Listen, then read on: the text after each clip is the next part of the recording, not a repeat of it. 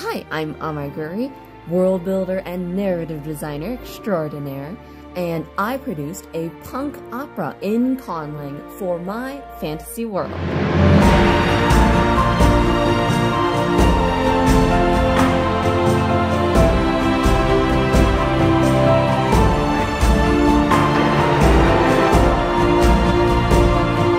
More specifically, I produced a counterculture Conlang opera. It's not punk like the music genre, it's punk like the nonconformist counterculture movement. And uh, this was all to celebrate the second annual Yssaia Week, where I release Yssaia themed videos every day of the week. Uh, this year, it's all about Somnium Girls and their debut opera of the same name. So let's walk you through how we developed this project. See, the dominant culture in the Aftercatoria of my world is Sphonic culture. Uh, Sphonic culture, highly guided by the Church of Deus, is known for its focus on community and de-emphasis on familial and romantic bonds being special, also with a focus on interconnectedness with the world at large. But recently, this has come to mean that this culture will try to take over other cultures to interconnect with them better. And thus, a counterculture that's anti imperialism, anti church and politics, and pro marriage and nuclear family uh, has emerged to counter the predominant cultural narrative. I honestly don't know if we have an analog to either of these cultures in or subcultures in our real world. I mean, not like a one to one. Um, so yeah, that's what punk looks like in my fantasy world. Uh, and by the way, if you haven't thought about what punk is in your fantasy world, like what's the dominant in, uh, subcultures of your world, uh, you should definitely think about that. But yeah, let's uh, let's get on to the opera part of this Conlang opera. This whole project started because of Yunjin's opera from Genshin Impact.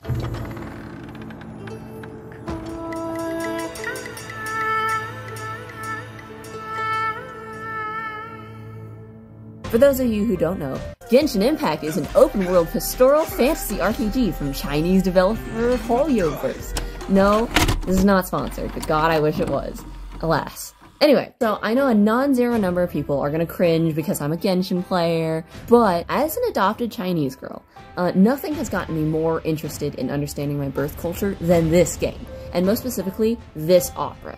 Very minor spoilers, but Yunjin is that world, the Genshin Impact world's equivalent of a Chinese opera singer, and she goes to this small village uh, to research her opera, where a tragedy once stuck, struck and a demon attacked. To save the village, uh, this a small girl volunteered to be sacrificed to the demon, but she defeated the demon in a sword fight instead. However, due to her change in the struggle, she could never live among humans again because she was too too changed by the fight. So she went to go live with the minor gods of the region. And uh, so Yunjin, once she gets to this village, meets the actual girl from the story who tells it a different way, and so she modifies her opera to include more of the truth. And then she and the girl go on to save the world for real, and it's just so beautiful. I cry every time I hear it. It, I mean, it's about a girl who is taken from her home and then she finds new friends. Like, that's just the quintessential happy adoption story. So, I, I find it very relatable. So, what does this have to do with me, aside from the fact that I like it? This is the setup for the deliverable for the final thing of this project. It's a video game-esque opera, i.e. a short piece of in-fiction musical theater that hypothetically represents a larger full three-hour piece. Like, the play in Final Fantasy IX or the opera in Undertale, uh, but obviously Yunjin was singing a modern take on a Chinese opera. So what does music sound like in Yssaia, uh, let alone punk music? Firstly, we have my dear friend Eric to thank for designing the musical soundscape of Yssaia. If any of you around last year, you know I commissioned him to create musical snippets for all the different cultures in my world. Well, Sphonic has this focus on improvisa improvisation and circularity to reflect the winding of life. Uh, and you know what real life musical style does this? His Hindustani and Carnatic music. I've actually slowly been incorporating some more Indian and Southeast Asian aesthetics into and cultural elements into Sphonic culture, uh, mostly regarding how they tackle, tackle the climate they live in. Uh, but like I've mentioned already, Sphonic culture doesn't really have a good one-to-one -one, uh, parallel to any Earth culture. Uh, it also has elements of pre-Russian Slavic culture and Mongols from the 1200s, and it takes but it takes its visual cues from hotter cultures in tropical areas. Uh, that's cultures from hotter areas. The culture isn't hot. I'm sorry. I'm not trying to sexualize people's culture. But yeah, uh, the next thing to understand about Sphonic culture is people are pretty spiritual and they don't like things that have to do with the abyss and Ys, the magical particle in my world. They're very wary of it, especially music made on instruments, which are Ys-based music uh, instruments. And so punk music, or the devil's music, mm, is probably made with more of these synthetic sounds. And in my video game, The Little Burned Maiden, the assassin life sim about murder and self-care, I made Ys particles make sounds like chimes. Though recently I've come to think that maybe Ys would make more of a buzzing sound, I'm still not convinced convinced, but basically it lets you make synth noises. Now, despite dipping my toes in musical composition, I don't feel confident in my skills to make this myself. Yikes. So I reached out to Ricardo from Rigz Productions, or Riggsy Productions, on Fiverr to compose the backtrack for me. I laid out this whole project to them, and, well, here's my reaction to hearing it for the first time.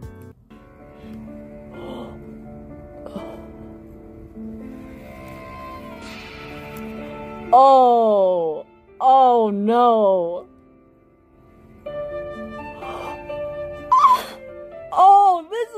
Good.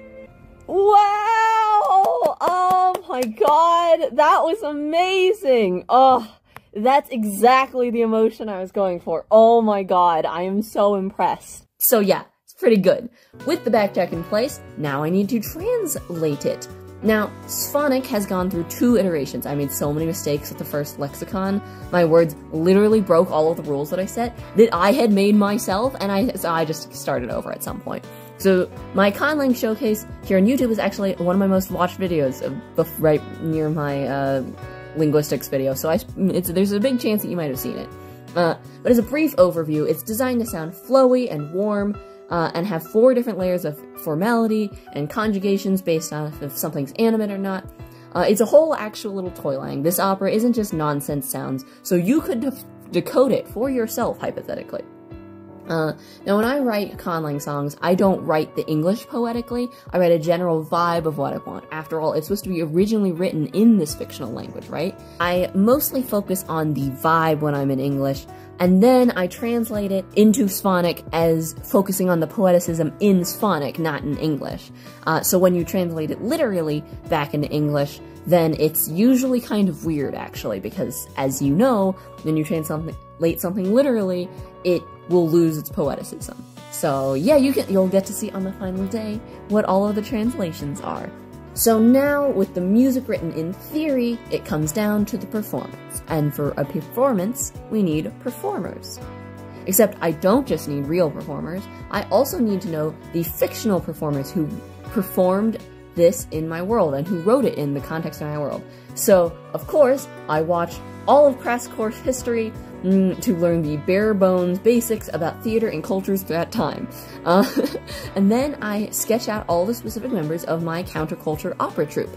We have Kinnavaris, Kina for short, the lead singer, uh, Tiarnavia, the cutesy but particular dancer, and lastly, I didn't draw him out back then, but I had imagined him like this. This is Chetiel. And then for anyone following my writing, you'll know that uh, is the twin brother of Zalathiel, the Inquisitor General. And though hilarious, hilariously, Chetiel's design came first, even though I didn't draw him back in the day. So yeah, uh, I made those like a year or two, so I dusted them off and touched them up for this performance, and made them their little visual novel sprites. Whoops, late night bell here, uh, editing bell. Uh, somehow in the original edit of this video, I forgot to tell you what the opera is actually about. Okay, so first I outlined how the fairy tale would go in my world. It goes, Once upon a time, there lived a stonemason in a little village by the sea. One day, she met and fell in love with the seeress, Yulia, the daughter of God. Soon, war broke out in somewhere to the east, and Yulia was called away to fight in the battle. Yulia left the stonemason to serve her duty. Though the stonemason was very sorrowful, she did her best to learn and grow herself apart from Yulia. However, a terrible flood came to their little city. Thankfully, Yulia foresaw this and returned just in time to evacuate everyone and save the stonemason. With the war and the flood overcome, Yulia settled down to live peacefully with the stonemason for the rest of her life. Basically, the moral of the story is trust in God and everything will be alright. so I turned that into a musical outline for Somnium Girls. If you don't know, all good musicals have similar songs to make the plot go forward, such as the opening number. This sets the scene for the rest of the performance. Uh, imagine the opening to Disney's Beauty and the Beast or Hamilton. That's the vibe. Next, the I Want song. This is typically used for the protagonists who want something to change in their lives. Then there's the I Am song. This is typically used by villains to declare what they are and why they won't change. The Crisis song is exactly what it sounds like. Bad things are happening. I like them best when they're a battle duet and you're singing while you fight. Like Jean Valjean and Javert singing on the bridge. I actually don't know where the setting is supposed to be for that scene. okay, and then then there's the dance only song. This is used when your emotions get too big, and so you just have to dance out your emotions instead. And lastly, the finale or the showstopper at the end of the show. This is to convince you to buy another ticket. So, in the hypothetical full version of Somnium Girls, we have the opening song, Village by the Sea, here we're introduced to the titular stonemason, a widowed outcast who once got married even though it's illegal, and she sings about how there's a little place for everyone else in her little village by the sea as long as you want to leave to join the military and you don't anyone love anyone more than you love the law. There's a place for everyone in our little village by the sea. Um, the I Want song is Somnium Girls. This is where the stonemason meets the seeress, and the seeress is running away from the military who's demanding her guidance. Meanwhile, the stonemason wants to find love and communion again, and they fall in love. But then there's the I Am song for the Foundation. The head of the military makes an offer to the seeress to have her return to them by declaring how strong and how important it is to subjugate their foes as well as spread the ideals of the state. This evil song demonstrates what Kinnavaris hates about the state right now. Then the crisis song battle duet. Who am I? The stonemason and the seeress will be separated by the demands of their people. The seeress will go off to war because she sees a random injured person die and thinks of the stonemason and how she doesn't want her to die like that. And the stonemason becomes more respected for her stonemasonry and her proximity to power. Who am I to refuse my call and mantle and let you die like any other man? Who am I to demand in my selfishness your love and attention and for you to stay? They sing at each other. Next, there's the climax. It's a dance only where there's a flood in the city, and the stonemason tries to work with the villagers to stop it, but they can't. And the seeress returns and helps to save everyone. Even though the village is washed away, Zavlakia, the people, are saved. And the finale song, Somnium Heart, the seeress rejects the military offer and decides to be with the stonemason to guide her and her people to build a better community rather than fighting a war to spread colonization to people who already have their own ways. So in writing the not full-length offer you'll hear at the end of the week, I threw in some of the titles of these songs as potential lyrics as well as the like sample lyrics I wrote. Uh, sidebar, in my dumb brain, I noticed that Somnium and Material have similar syllable counts, so you could put it in the Material Girl song and be like, Cause I am a Somnium girl and I'm living in a Somnium world. so anyways, if anyone knows how to make parody covers without legal fights, let me know. Teach me to do it for real. I'll do it.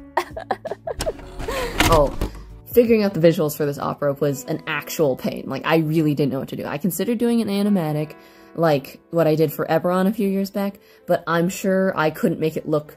I mean, animation is so hard. I hate doing animation. I'm sure I could make it look better than that, I have so much respect for animators, but dang, I just, I can't do, I can't, I can't stand it. So I just said no. I don't want to sink another thousand dollars into a VTuber. If you don't know, this is, that's the model I control. Um, because this, okay, this was about, um, 1.5 thousand USD.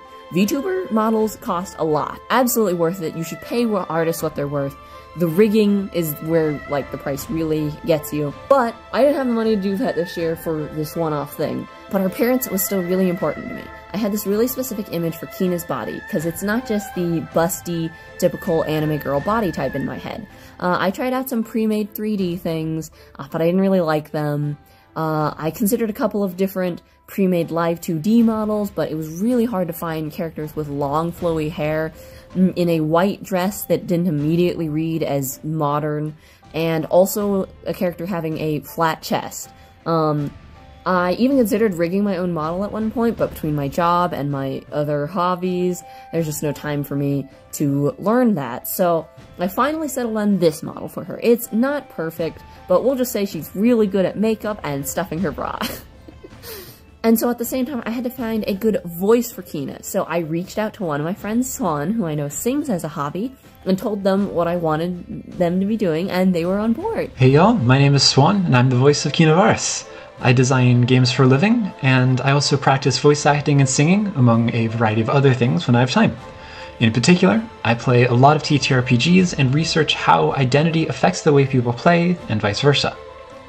I was very excited when Belle reached out to me about this project and enjoyed the opportunity to both learn more about her world and contribute to it. As someone who is gender fluid, I have found my voice to be a powerful way to express myself, and bringing characters like Kina to life is one of my favorite ways to go about that. Thank you for having me, and if you want to get in touch or read poetry that I write daily, you can find me on Tumblr as the Swan Dragon. Belle's hopefully put a link in the description as well. Thanks again, and I hope you enjoy the opera. I also relied a lot on my partner Emer's, who had a lot of theater experience growing up, and Rose from the Dragon's Rose, who actually studied theater in LA, and of course I drew on my own experience from doing Shakespeare growing up, and my love of East Asian pop music and the culture surrounding that, and I took snippets from all these experiences mm, and my love of the entertainment industry, and, you know, everything from the beauty to the exploitation, and I put it all into this week of opera. Oh, and oh, and I also credit to Raw Ice, also from the Moreon Games channel here on YouTube. He is an incredible community member. He's composed like 20 songs for Yssaia at this point, just like for free. It's amazing. Um, but Raw Ice did some mixing and mastering for me. Music guy knows a lot more about everything. So with the world building and writing and music and performers under my belt, now it's just time to just bring it all together. You know, because it's easy to effortlessly simulate a breakout masterpiece of theater performance. I started this two years ago and worked on it in earnest for about the last three months here. It's not perfect, but I think for this Yssaia week, we've put together something really special.